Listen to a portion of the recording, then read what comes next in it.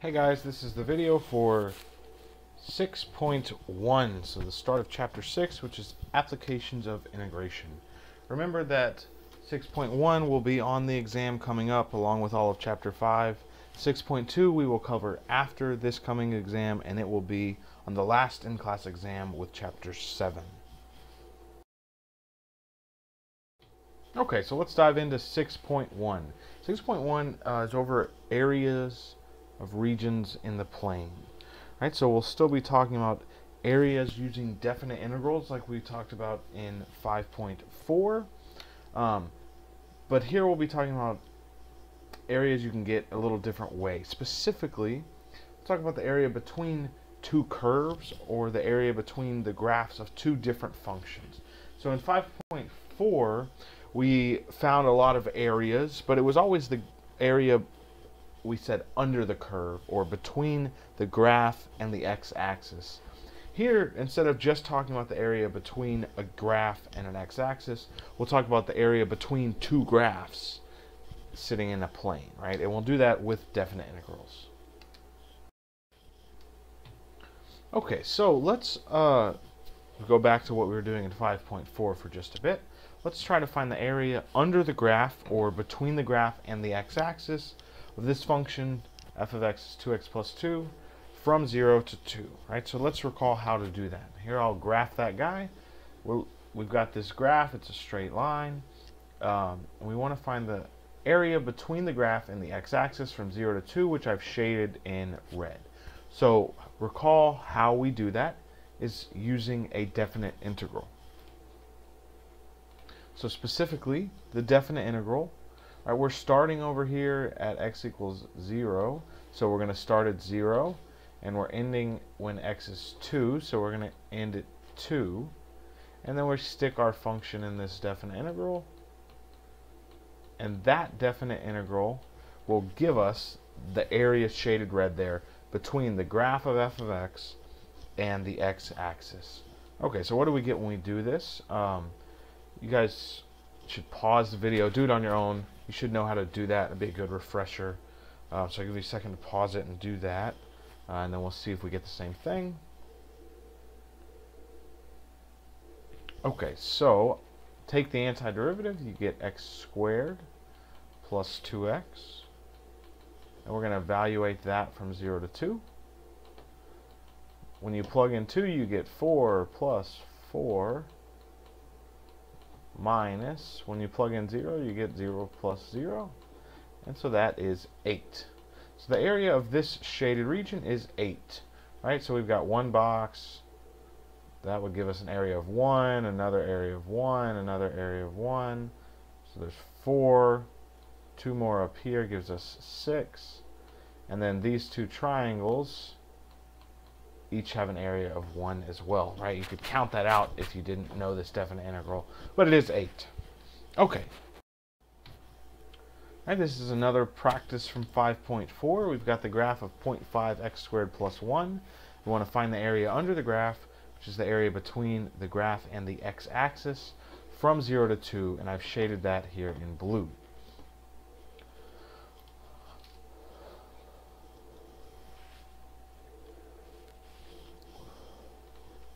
So again, we do that with a definite integral. We're starting at x equals 0 and ending at x equals 2. So we're going to integrate from 0 to 2. Stick our function in there. And that in definite integral will give us the area here. Okay, I'll give you guys a second to pause this and see if you can do this on your own. Nice little refresher 5.4. Okay, so take the antiderivative. The 0.5 comes along for the ride. x squared becomes x cubed over 3. And plus 1 becomes plus 1 times x, which is just x. And we're going to evaluate that from 0 to 2. Alright, so when you plug in 2, you get 4 thirds for that first guy, so make sure that's what you get, plus 2. And when you plug in 0, you get 0 minus 0. So what is 4 thirds plus 2? It's 10 thirds, 3.33, right? 3 and a third. So 10 thirds. Uh, 3 and a third. So that's the area of this region that is shaded blue. You can imagine that these two boxes here give you area of 2.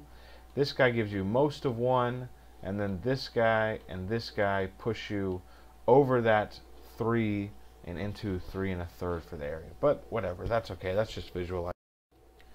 So now we're going to talk about the area between two curves. Right, so I have the exact same f of x and the exact same g of x, and I want the area between them from 0 to 2. So how does that show up in the graph? Well, remember, this is the exact same red graph and blue graph that I just had. So this red shaded region starting at the graph and going all the way down to the x-axis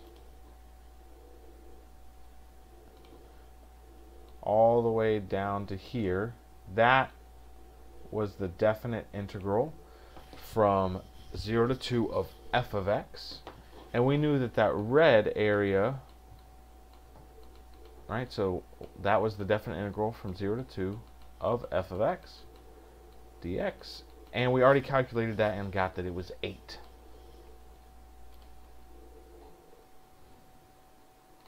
For this blue area, which starts here at the graph and goes all the way down to the x-axis as well.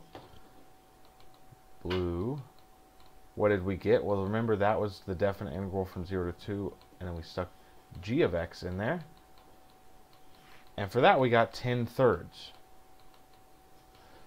Okay, so now if I want the area between the graph of f of x and the graph of g of x, well, how does that show up on the graph of the two functions? We use green for this one. Well, it's going to be all of the red minus the blue, right? So the area between them is what I'm shading in here in green. That's the stuff between the two functions. And that area is the red area minus the blue area. When you do that, you're left with just that red area that's left, which I've shaded in green. Right, so if we do red minus blue, that's going to get us that green area. And so that rephrasing it is if we do the area but under the graph of f of x and then subtract the area under the graph of g of x, that's going to give us the area between those two graphs. So what is that? Well, that red area was 8. Blue area was 10 thirds. So what's 8 minus 10 thirds? Well, that's 14 thirds. So 14 thirds is the area that I've shaded in green between the two graphs. And notice that we could write that as a definite integral using this here. Right? The area of the red was the integral from 0 to 2 of f of x dx. And the area from the blue, which we subtracted from the red, was the integral from 0 to 2 of g of x dx. And that gives us the area between the two graphs. So the area between the two graphs is given by this definite integral, which equals 14 thirds.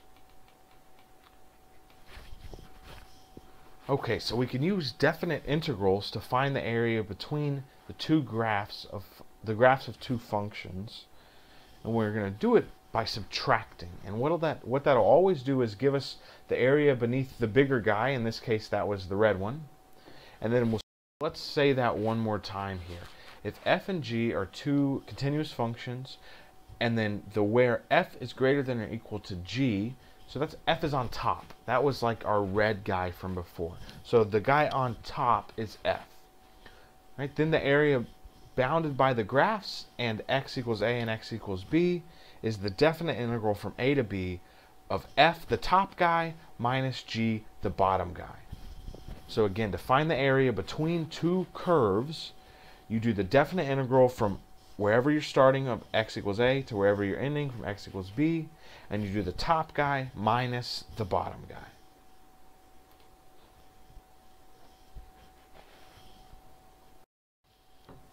So let's do an example here. Let's find the area of the region bounded by the graphs of f and g here. Uh, from x equals, and bounded by x equals 0 and x equals 2. So we're going to go from x equals 0 to x equals 2. We know this is going to show up as a definite integral. We're starting at 0 and we're ending at 2. And that last slide told us that the, the way to find the area between these two guys is to take the difference where we do the top guy minus the bottom guy.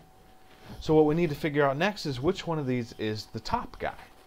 And you can do that in a few ways, um, but what would be easiest is to graph them. So I've graphed them here where the red is the red guy and the blue is the blue guy. And you can see from this graph that if we're going from 0 to 2, that the red guy is on top the whole time. Right, so we're looking for this area here in green, assuming I can draw in the lines, which I kind of can. Right, so that area in green is going to be given by this definite integral. So the top guy is what? Well, that was f of x, the red guy, so that's x plus 4. The bottom guy is what? Well, that was the blue guy, which was g of x, and that was x squared plus 1. So I drop both of those in there. Be careful to put parentheses around, especially, especially the, the bottom guy, the one that's going to be subtracted, because you have to remember to distribute that negative sign. So I like to just throw big parentheses around both and then go from there.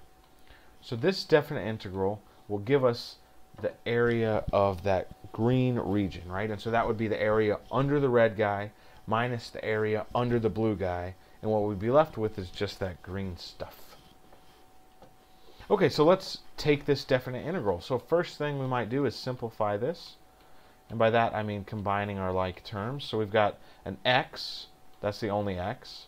We've got a plus 4 here, but we also have a minus 1, so that's going to be plus 4 minus 1 is plus 3. And then we've got a minus x squared, right? And it doesn't matter what order you write that. Uh, if you like to write the squared guy first, that's fine. Um, but we want to combine those before we take this antiderivative to make it easier. So we don't have to do quite so many steps. All right, so let's take the antiderivative. What do we get? x squared over 2 from the x plus 3x minus x cubed over 3. And we're going to evaluate that from 0 to 2. Okay, so uh, plug 2 in, and what do you get? Make sure you can get the same thing that I get. But what I got was 16 thirds. All right, I combined all of that already. But make sure you get that, 16 thirds. And when you plug in 0, you get 0.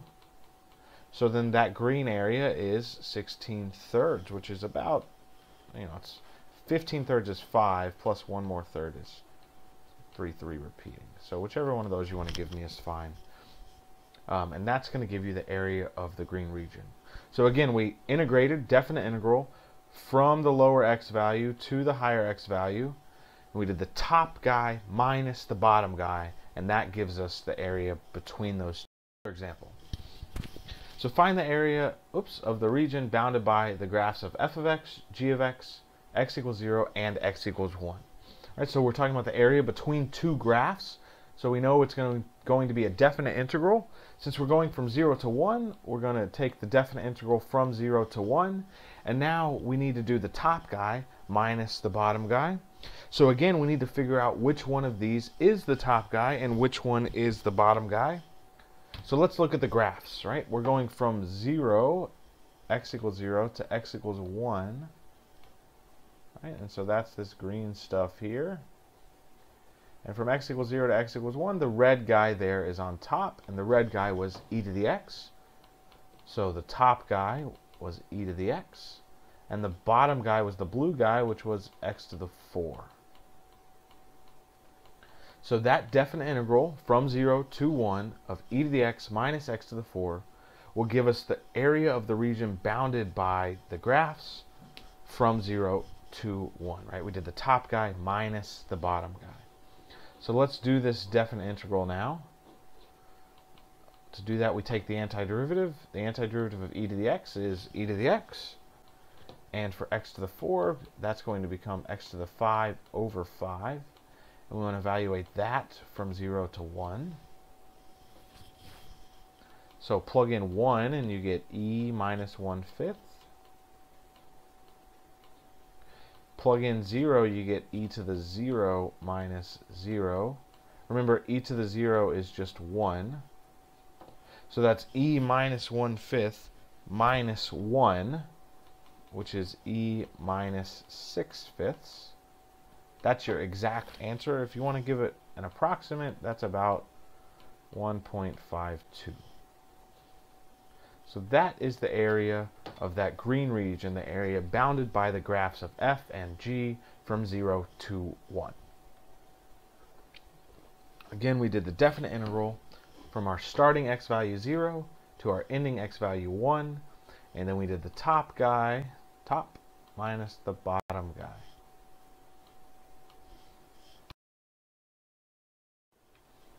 Okay, let's do another example here. It says find the area of the region completely enclosed by f of x and g of x. So what is that? That's completely enclosed, right? This is different from the other two we've done, right? This one doesn't give us like x equals 0 and x equals 1. We're going to have to figure out what x values, uh, where we're starting and where we're ending for those x values. What x values are going to be our bounds for our definite integral. And the way we're going to do that is by seeing where these functions are equal. And so let's look at a graph to help us to see what I mean by that. So the, air, the area of the region completely enclosed, that's what we're trying to find. Well, the region completely enclosed, if I graph here f of x and g of x, again f is red and g is blue, completely enclosed means I just want this stuff, right? And it's it's whatever's in between them for the whole time that there is an in between, right? Um, that's what we mean by this completely enclosed. So what we're going to have to do is figure out where to integrate from, right? So that it stops, I'm sorry, it starts from the left right there, whatever that x value is, and it ends over here. Right, so we're going to have to figure out what those bounds of integration are. Right, we know we want to integrate, but we need to figure out where to integrate from for our definite integral. And the way we're going to do that, whether or not you can read it off the graph, right? You might be able to look at the graph and say like, oh, I think I know what the x values are. You have to do this algebraically. You have to solve for this algebraically. I don't want you just reading it off the graph. So the way you do that is you set the two graphs equal to each other. Right? We're going to say where do those graphs intersect and then integrate in between those values. Right? So we're going to set them equal to each other, find out what x values we get from that, and those will be exactly where these graphs intersected, and that's the bounds of our integration. Right? So what is that? That's x equals 2 minus x squared we want a 0 on one side, so I'll add the right side over, and we'll get an x squared plus x minus 2 equals 0. Factor your quadratic. I'm assuming you guys are pretty comfortable with this stuff. If not, you can watch the video again or you YouTube it if you need to remember how to factor quadratics. Um, anyway, so x squared plus x minus 2, that factors to what? Well, we got x minus 1 and x plus 2. So if that's set equal to 0, we're going to set each piece equal to 0 individually. So x minus 1 becomes x equals 1, and x plus 2 becomes x equals negative 2. Right, and that's exactly what this looked like, that this was at negative 2, and this was at positive 1. Right, so we now know our bound graph here. We know that it's whenever x equals 1 and x equals negative 2. Those are going to be our bounds. Right, so the lower of those two guys is negative 2. So for our definite integral, we want to take the definite integral from negative 2 to 1. Right, so we found our bounds. Now we're going to take the definite integral using those bounds. And now we're going to do just like we did before. It's the top minus the bottom. In this case, g of x, the blue guy is on top the whole time, so that's what, what's going to come first. g of x minus the bottom guy, which was the red one, f of x, which is just x. So that definite integral will give us the area of this green region here. So what is that definite integral? Well, antiderivative of 2 is 2x minus, we're going to get an x cubed over 3 minus an x squared over 2. And we're going to evaluate that from negative 2 to 1. Okay, so when you plug in 1, what do you get? When you plug in negative 2, what do you get? I'll let you guys do that. But your final answer should be 4.5 or 9 halves. And that's the area of the region completely enclosed by those two graphs.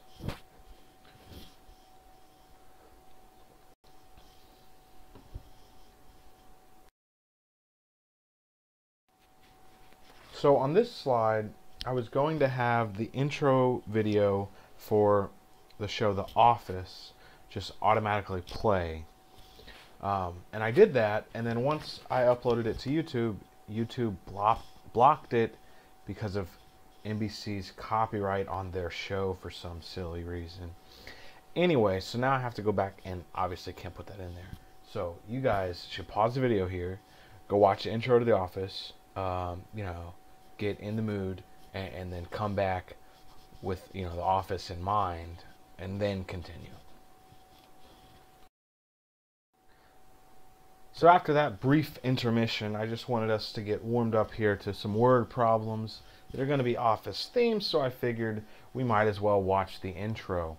Um, so let's look at an example here. It says Dwight Schrute has determined that Schrute Farm's annual revenue in thousands of dollars is given by this function R of t, and its annual cost, again in thousands of dollars, is given by this function C of t. Here t is the number of years since Dwight inherited the farm. Okay, now the question is, what is Schrute Farm's accumulated profit in Dwight's first 10 years of owning the farm, right? So we have revenue, uh, annual revenue, and we have annual costs. We want the accumulated profit, right? So how are we going to do that? Well, if we're talking about accumulated profit, you should think that we should integrate against uh, annual profit maybe, and that's correct.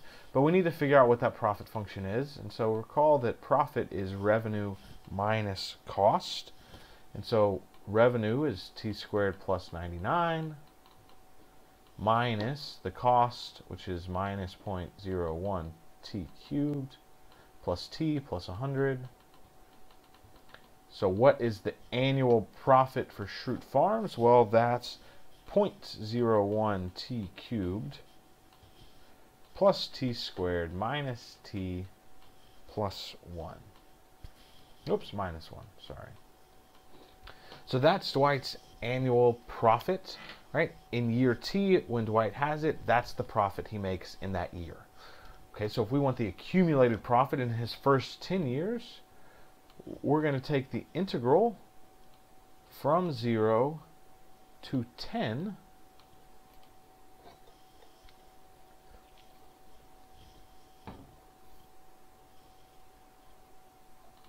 of this profit, right? And so notice that this profit came out as a difference. It was revenue minus cost.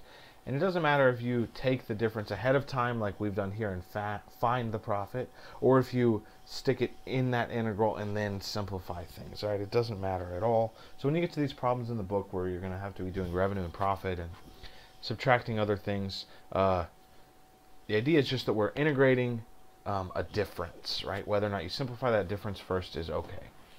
All right, so what is this? Well, that's the integral from 0 to 10 of 0.01 t cubed plus t squared minus t minus 1. But I can't write it that fast, even if I can say it that fast. There we go. All right, so that's our integral. Now take that antiderivative and plug in 10, then plug in 0. I'm going to let you guys do all that because I think you have plenty of practice at it. Oops, I forgot a 1 here somewhere. Um, so that's the definite integral that we're talking about here, right? So uh, go ahead and pause the video, see if you can do that on your own uh, first, and then we'll see if we get the same thing.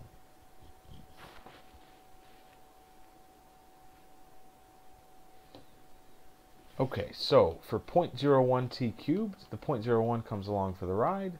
t cubed becomes t the 4 over 4. Plus t squared, well, that's going to become plus t cubed over 3. Minus t is going to become minus t squared over 2.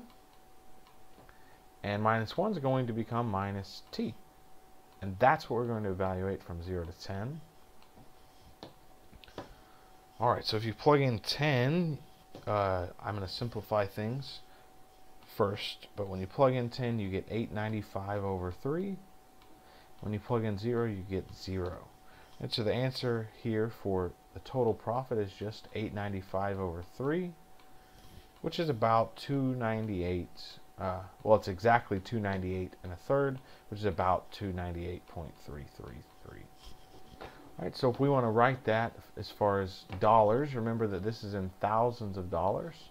So in 10 years, the accumulated profit that Dwight makes is 298,300.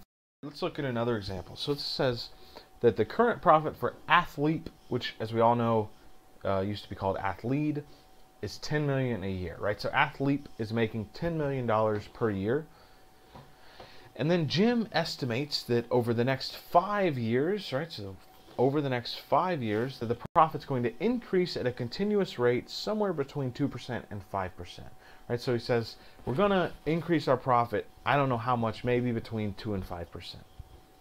Right? If it increases at a rate of 2%, then this function here, labeled with a 2%, P 2% of t, that's going to give you the new annual profit. And if it increases at a rate of 5%, then this function here is going to give you the new annual profit for the 5%. Right, so you have a couple of homework problems like this in the book. Uh, it's a lot of words, but uh, this is what's important, right? The stuff I've boxed and, and underlined. The next five years and the two different functions. Okay, so when you see this in the book, I, I would recommend taking your time and reading through it and then just sort of identify what's important. And what's important here is that we're talking about over the next five years, and these are the two functions that we're talking about. Okay, so now it says both functions are in millions of dollars per year, and for both, t is the number of years from now. So, approximate the total difference in accumulated profit under the two models. So how can we find the total difference in accumulated profit? Well, if these are both giving us an, an annual profit, if we integrated them, that would give us an accumulated profit. And if we're talking about the difference in accumulated profit, then we're going to integrate their difference. Right? So that is to say, uh, another way to say that, this two percenter guy, we could figure out the total profit if let's say that the the two percent was the correct thing. If that's how it actually went, this could give us the actual accumulated profit over the next five years. If this five percenter guy was correct, then it would give us the actual accumulated profit over the next two years. And what we're wondering here is what is the difference, right? We've got this range, 2% to 5%. If the 2% is right, we'll get however much profit. And if the 5% is right, we'll get however much profit. But what's the difference in profit between those two estimates? And so the way we're going to do that, since we're accumulating the profit, we're going to take the definite integral over the next five years gives us from 0 to 5. So that was underlined up here, and that was important. And now what we want to do is take the difference of these two guys, where the one that's going to give us more, the top guy, is first, and the one that's going to give us less, which would be the bottom guy if we graphed them, would be second, because we're going to subtract it. So which one of these would give us more? Well, that's this higher percentage. Right, you could graph them and double check, but the one that's going to give you a higher percentage increase is going to give you more profit. All right, so what we want to do here is take the definite integral of the p5% of t minus the P2% of T. And that will give us the difference in accumulated profit, right? Where we're taking the difference in the two annual profits, and when we integrate, that'll give us the difference in the accumulated profits.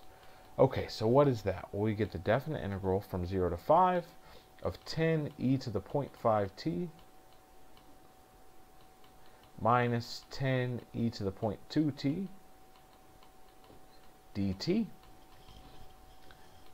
All right, so take the antiderivative and you get 10 e to the 0.5t over 0.5 minus 10 e to the 0.2t over 0.2. And that's what we're going to evaluate from 0 to 5. And when you plug in 5 and plug in 0, double check that you get this. But what I got is 4.22. So the difference in the accumulated profit is going to be 4.22. And this was in millions of dollars, which it says uh, somewhere up here. Here we go, millions per year. So when we integrate, we'll end up with just an accumulated millions. So the difference in the two profits is $4.22 million over the next five years.